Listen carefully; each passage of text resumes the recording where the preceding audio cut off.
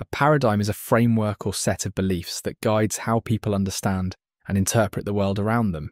It serves as a model for thinking, offering a structured way of viewing problems, solutions, and possibilities. Paradigms influence everything from science and education to culture and personal behaviour. They shape our assumptions, determine what we consider possible, and set the boundaries of our understanding. For example, in science, a paradigm dictates how researchers approach their experiments and what they consider valid evidence. When a paradigm shifts, it often changes how people see the world and approach challenges. One well known example of a paradigm comes from astronomy. Before the 16th century, most people followed the geocentric paradigm, which held that the Earth was at the centre of the universe and that all other celestial bodies revolved around it.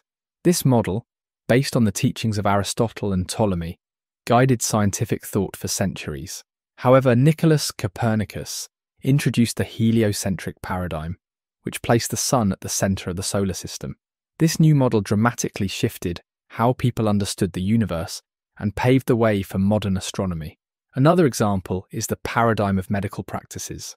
In the 19th century, many doctors believed that diseases were caused by imbalances in bodily fluids, or miasmas, bad air thought to spread illness. This paradigm changed with the advent of germ theory, introduced by scientists like Louis Pasteur and Robert Koch. Germ theory revealed that microorganisms were the cause of many diseases, transforming medical practices and improving public health. One strength of paradigms is that they provide structure and guidance. By offering a framework for understanding, paradigms help individuals and groups approach problems systematically. In science, for example, paradigms guide research by setting clear goals and defining acceptable methods. This structure allows scientists to build on existing knowledge and make progress in their fields. Paradigms also promote shared understanding. When people operate within the same paradigm, they share common assumptions and language, which makes communication and collaboration easier. For instance, in engineering, paradigms about design principles enable teams to work together effectively as they all understand and follow the same guidelines.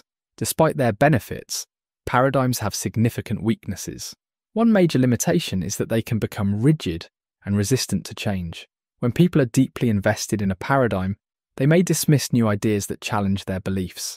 This resistance can slow progress and prevent the adoption of more accurate or effective models. For instance, early proponents of the heliocentric model faced strong opposition from those who adhered to the geocentric paradigm.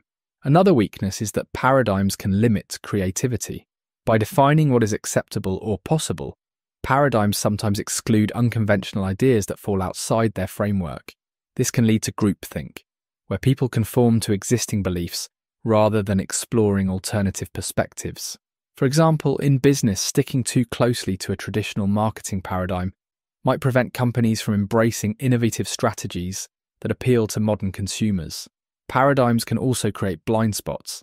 Because they focus attention on specific problems and methods, they may cause people to overlook important factors or alternative approaches. In medicine, for instance, reliance on pharmaceutical treatments within a certain paradigm might lead to the neglect of holistic or preventative care options that could benefit patients.